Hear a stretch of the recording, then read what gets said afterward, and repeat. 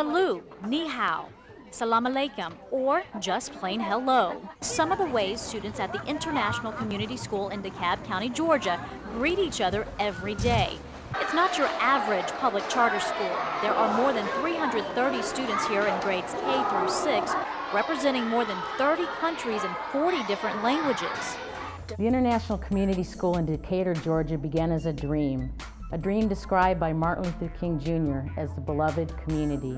We are a free public charter school designed to bring together child survivors of war and local children in nurturing and academically challenging environment. We would like to invite you to participate in this beloved community.